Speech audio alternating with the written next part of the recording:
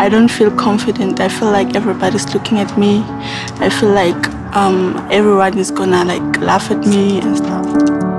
Millions of South African girls miss up to a week of school every month because they can't afford sanitary pads.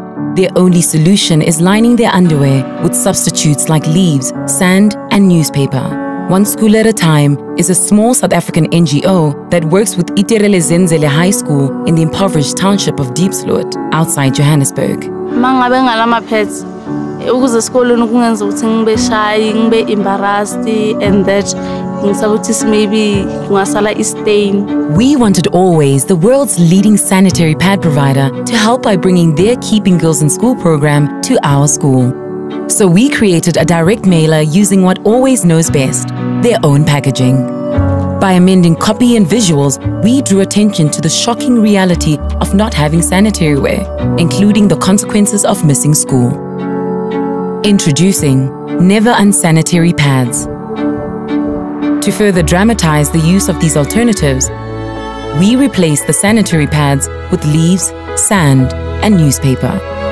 One modest direct mailer moved one major corporation to make a big difference to 535 girls.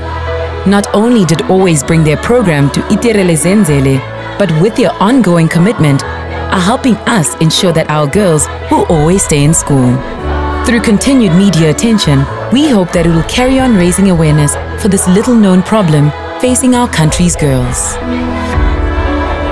Girls shouldn't be embarrassed about who they are or what happens to their body they should come to school whenever Girls being unpure, that doesn't make us less human. We are all the same.